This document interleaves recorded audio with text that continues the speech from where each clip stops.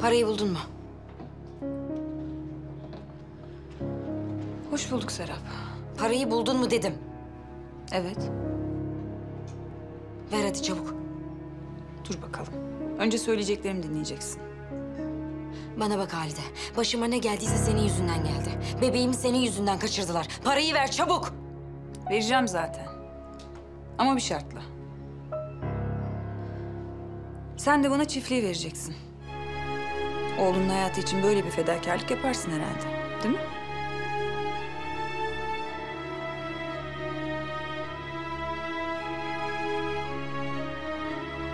Bu çiftlik oğlunun hayatından daha önemli değil herhalde değil mi Serap? Sen nasıl bir insansın?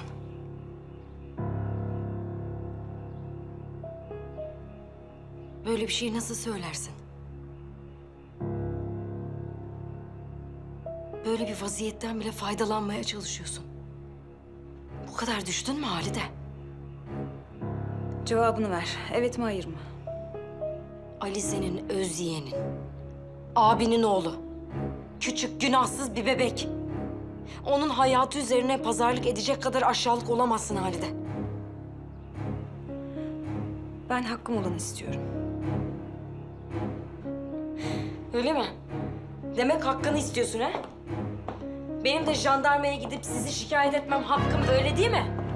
Ekrem'le beraber beni zorla alıkoyduğunuzu, Orhan'a yardım ettiğinizi gidip jandarmaya anlatsam o çıktığın deliğe geri girersin. O vakit ne işine yarayacak çiftlik hali de? Bak Serap. Oğlun şu an o adamın elinde. Üstelik de hasta. Karakola gidip benimle uğraşman oğlunun hayatından daha mı önemli? Kaybedeceğin zamanın telafisi olmaz. Seni adi soyka.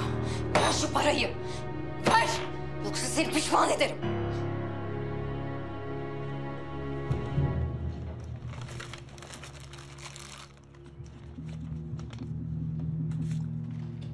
Çiftliği ver. Parayı al. Fazla vaktin yok Serap. Oğlunun hayatı buna bağlı.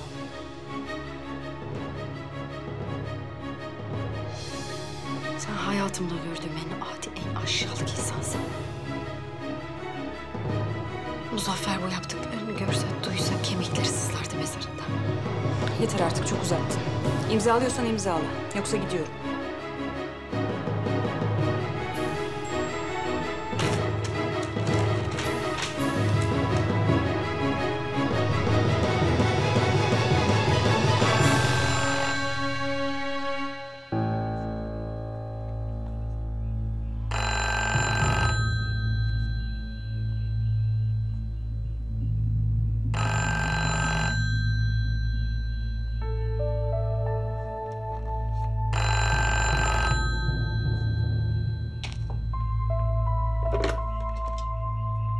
Efendim? Evet, ben Serap Dinç Aslan.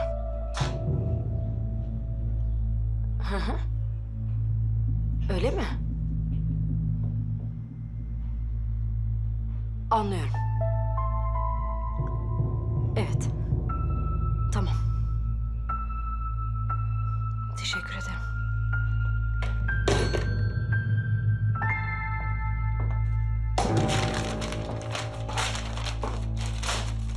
Sen ne yaptığını zannediyorsun?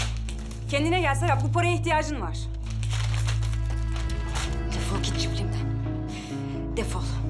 Sakın bir daha adımını bile atma bu çiftliğe. Senin o iğrenç yüzünü görmek istemiyorum. Defol!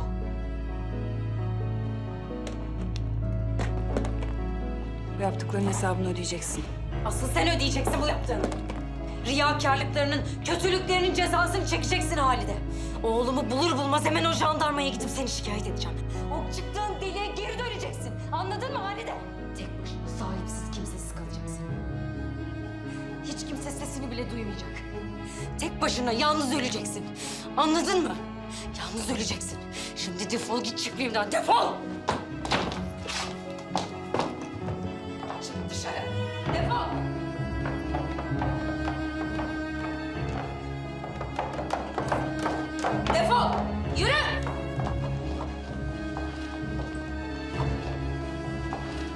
Ne oluyor?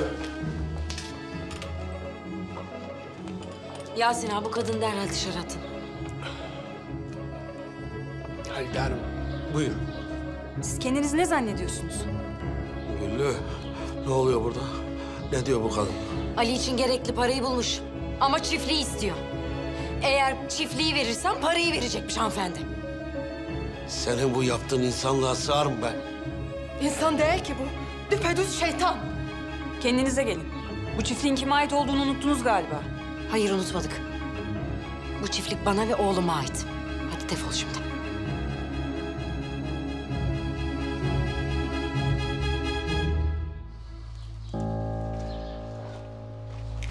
Neyse hadi gel gidelim. Hadi. Hadi. Pakize beni burada bekle ben gelip seni alacağım.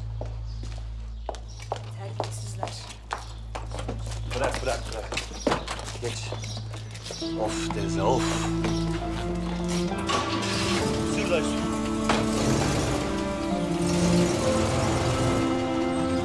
Vicdansız soyka. Gülü ne olacak şimdi? Merak etme ana, paranın tamamını buldum. Buldun mu? Buldum ya.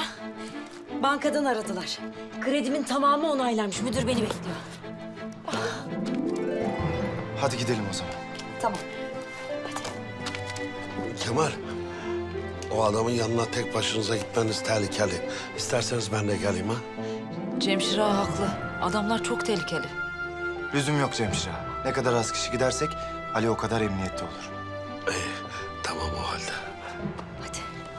Kemal, torunumu sağ salim getirin olur mu? Merak etme. Getireceğiz.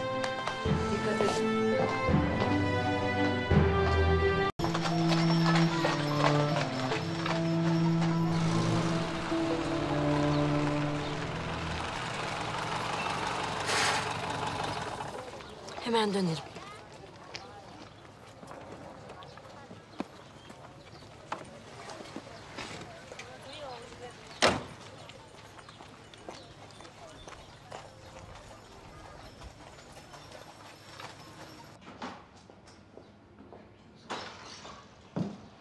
Serap Hanım hoş geldiniz. Müdür bey, çok acelem var. Hemen parayı almam mümkün mü? Buyurun. Serap Hanım biz gerekli evrakları hazırladık. Çiftliğin tapusunu getirdiniz mi? Evet, getirdim. Buyurun. Serap Hanım çiftliği ipotek ettirmek istediğinizden emin misiniz? Evet, eminim. Lütfen acele edin. Siz şu alt kısımları imzalayın.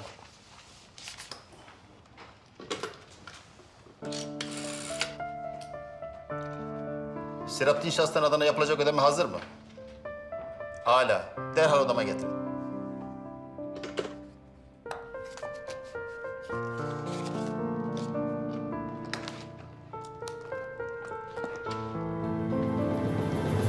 Kanalımıza abone olarak tüm videolardan anında haberdar olabilirsiniz.